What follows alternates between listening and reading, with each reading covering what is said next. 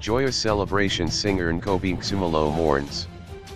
Joyous celebration singer Mnqobi Nxumalo is mourning his grandfather. In an Instagram post, he described his Mkhulu as his best friend. He said his grandfather used to accompany him to school and would fetch him afterwards. He wrote, I was at rehearsal and the room practically became dark in my eyes when my mom said, You have no Mkhulu anymore, your friend just passed.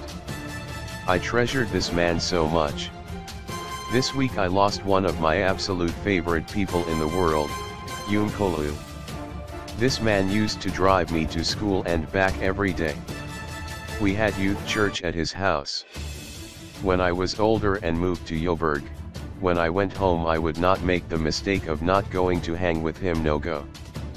He used to say he doesn't see anyone on TV but when my face shows up, he sees clearly, he said. He'd always share the word of God, tell me things about life, he was so protective. We'd reminisce, laugh, eat, I'd bring him some things. He'd speak blessings until I find a way to escape his house and go home. Sometimes I'd pick him up for his errands and we'd drive to so many places and I'd get confused why is this man such a laborer even at his age. Apart from a lot of things I picked up from him, one thing that always stood out was his love for God and his wife. This man loved his wife. It was like a dream. He was loved by the whole town and he had a million inherited grandkids. I don't know how but this man was my friend I have so many fond memories of him. Anyway. Rest in peace and Abazita.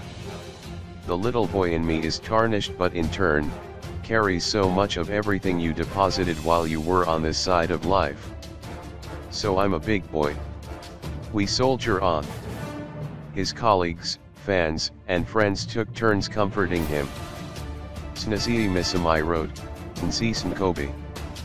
Though Bile K said, condolences to you my brother. Though Dube wrote, sorry bro, my sincere condolences to you and your family.